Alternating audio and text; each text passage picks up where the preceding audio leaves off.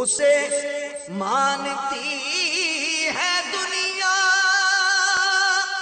اسے ڈھونڈتی ہے منزل، اسے ڈھونڈتی ہے منزل۔ رہے عشق مصطفیٰ پہ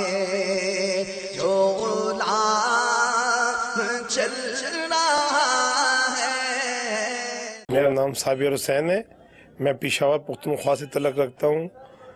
میرا سوال یہ ہے، پیر صاحب سے، کہ غصے کا اور ٹینشن کا کوئی علاج بتائیں۔ غصہ اور ٹینشن یہ دونوں الگ الگ ہے اگر یہ ٹینشن کے ذریعے غصہ آ بھی جاتا ہے، لیکن بنیادی طور پہ یہ دونوں الگ چیزیں ہیں۔ ٹینشن مانے تفکرات فکریں ایک دم الجھن آ جائے نا، تو اب جتنی الجھن زیادہ ہوگی، اتنا ٹینشن بڑا کہلائے گا۔ تو ٹینشن کا علاج ہمارے یہاں یہ کہتے ہیں، جیسے آپ ٹینشن نہیں لینا۔ دیکھو، آپ ٹینشن نہیں لینا۔ ٹینشن نہیں لینا کہنے سے ٹینشن کم تو ہوتا ہی نہیں ہے۔ ٹینشن جو ہے، یہ رسکی ہوتا ہے۔ بعض اوقات اتنا ہائی ٹینشن آتا ہے آدمی کو کہ اس کا بلڈ پریشر ہائی ہو جاتا ہے۔ بعض اوقات برین ہیمریج ہو جاتا ہے۔ نس پھٹ سکتی ہے دماغ کی۔ ٹینشن سے اور کئی بیماریاں ہو سکتی ہیں۔ اور غصہ، ٹینشن یہ دونوں خطرناک ہیں۔ شروع میں زوردار اس کا وار ہوتا ہے، پھر آٹومیٹک خود بخود کم ہو جاتا ہے ٹینشن۔ جیسے جس کے یہاں موت آتی ہے، کسی کی ماں فوت ہو گئی، ابو فوت ہو گئے تو وہ روتا ہے، وہ بہت غمگین ہوتا ہے، ٹینشن میں ہوتا ہے۔ لیکن آہستہ آہستہ پھر وہ ہنستا بھی ہے، مسکراتا بھی ہے، کھاتا بھی ہے، ٹینشن اس کا ختم ہو جاتا ہے۔ تو عارضی ہوتا ہے ٹینشن، چاہے کیسا بھی ہو۔ تو یہ کہ ٹینشن مت لینا، یہ نفسیاتی طور پر آدمی بولتا ہے، لیکن خوش کرنے کے لیے اگلے کو ٹینشن جاتا نہیں۔ جیسے اسی طرح بولتے ہیں، تھوڑا آرام بھی کیا کرو۔ بہت بھاگ دوڑ کرتے ہیں آپ۔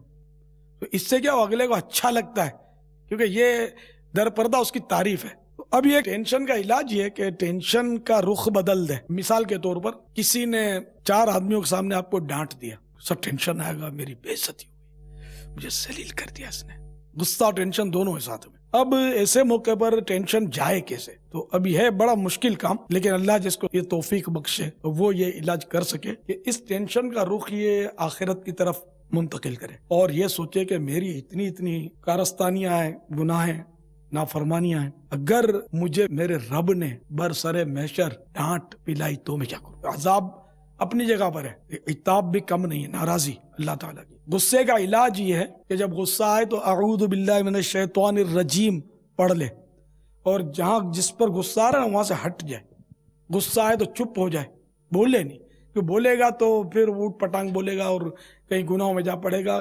یہ حدیث پاک میں کہ جہنم کا ایک دروازہ ان لوگوں کے لیے مخصوص ہے جن کا غصہ کسی گناہ کے بعد ہی ٹھنڈا ہوتا ہے۔ غصے میں گالی نکلے گی، ہاتھ اٹھے گا تو اگر حد سے تجاوز کرے گا اور وہ گناہ میں پڑے گا تو پھر وہ اس کے لیے جہنم کا وہ دروازہ ہے۔ اس لیے غصے کا علاج کرے۔ کھڑا ہے تو بیٹھ جائے، بیٹھا ہے تو لیٹ جائے، پھر بھی نہیں جا رہا تو زمین سے لپٹ جائے، چپٹ جائے۔ وضو کر لے۔ غصہ آئے تو انشاءاللہ اس سے بھی ٹھنڈا ہو جائے گا۔ اس طرح غصے کا علاج کرے اور الحمدللہ مکتبۃ المدینہ نے ایک رسالہ شائع کیا، اس کا نام ہی غصے کا علاج ہے۔ اس کو دیکھ لیں، انشاءاللہ اس میں بہت علاج مل جائیں گے۔ اسے مانتی اسے ڈھونڈتی ہے منزل اسے ڈھونڈتی ہے منزل۔ رہے عشق مصطفیٰ پہ۔